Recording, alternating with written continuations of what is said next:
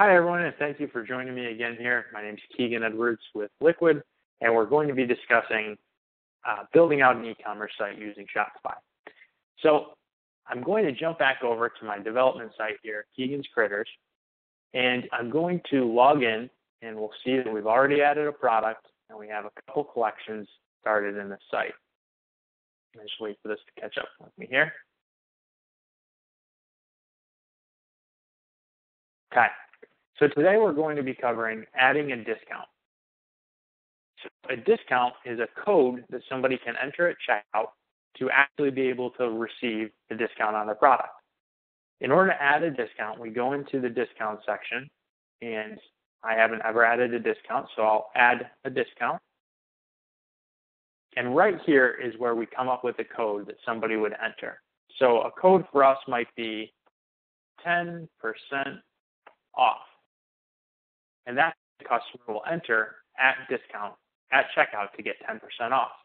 So if I want this coupon to actually be a 10% off coupon, I'll go in here, I'll select under conditions percentage discount, and I'll say take 10% off all orders. I can either make this unlimited, so anybody could use this anytime they shop with me for 10% off, a new 10% off.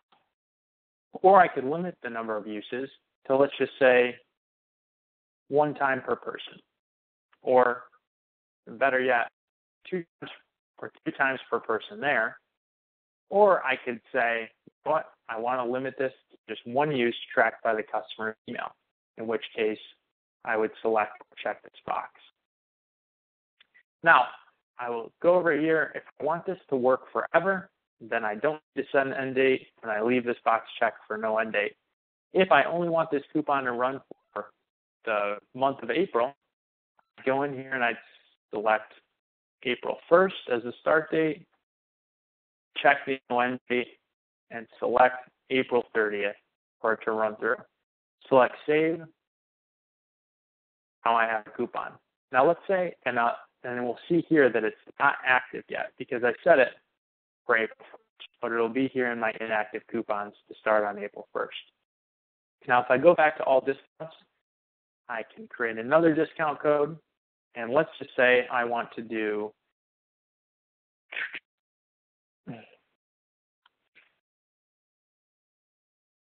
five off dog food. So I want to do $5 off dog food.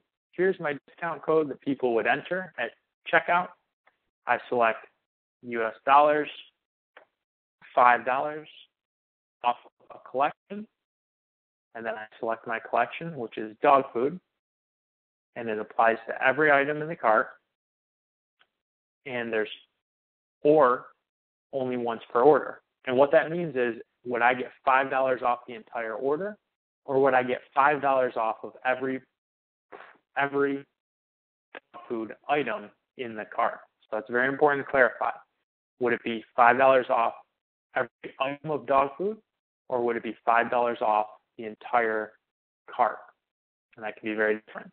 So let's just say I want this five dollars off every bag of dog food that I carry. Okay, great. It's five dollars off every item in the cart. Unlimited uses, limited uses, or select one use for customer based on their email. Again, select the dates. Let's just say I want this to run from now forever. I save it. And now I have all my coupons and then my active coupons. All of my coupons here.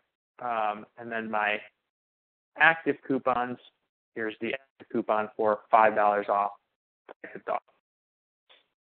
You can create more discounts here delete or disable these when they're over or change the dates. And let's just, for example, say, you know what, I decided I really don't want to do this promotion, this uh, discount anymore. I can click on it and either select to disable it or trash it um, or promote it, which would mean it would allow me to share it on Facebook if I have Facebook set up with my site. But let's just say I don't want to do this discount anymore. Click delete. Are you sure? Yes. Delete it. So really easy, simple process to set them up. And then the important thing to know, this discount code right here is the code that actually needs to be entered at, at checkout to get the discount on the product. So thanks very much for joining us. That's how we do discount codes.